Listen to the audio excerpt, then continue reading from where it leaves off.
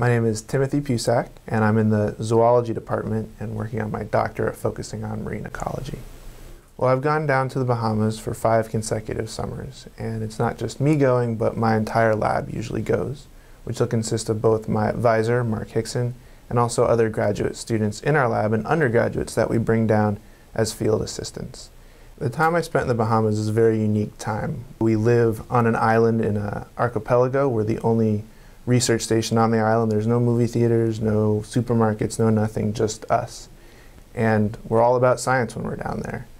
We get up in the morning and we go out diving for four hours, come back for lunch, dive for another six hours. And while we're out there, we're visiting various sites, counting fish, moving fish around.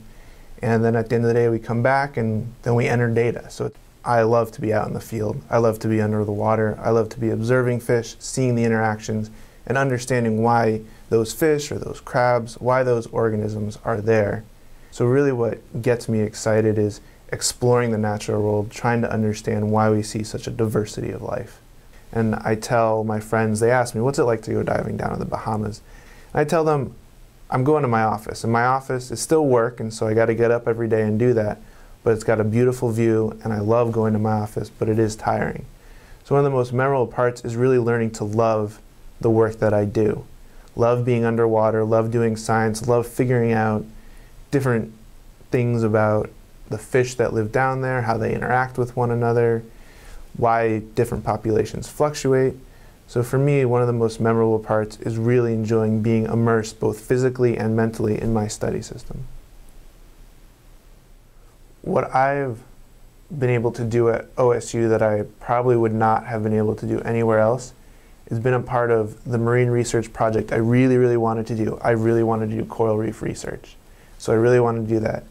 However, I wanted to live by the mountains. I wanted to live by temperate forests. I like snow, so I like to be up here. So for me, being able to live nine months out of the year in Oregon has been very valuable for me. I love the natural environment that we have here.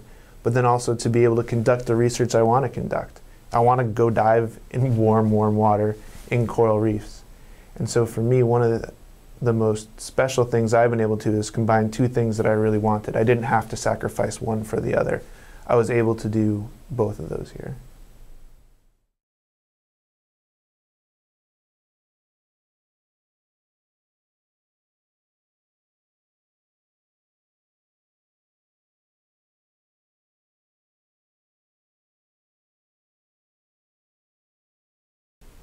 The graduate program at OSU has prepared me for my career goals by giving me a lot of options.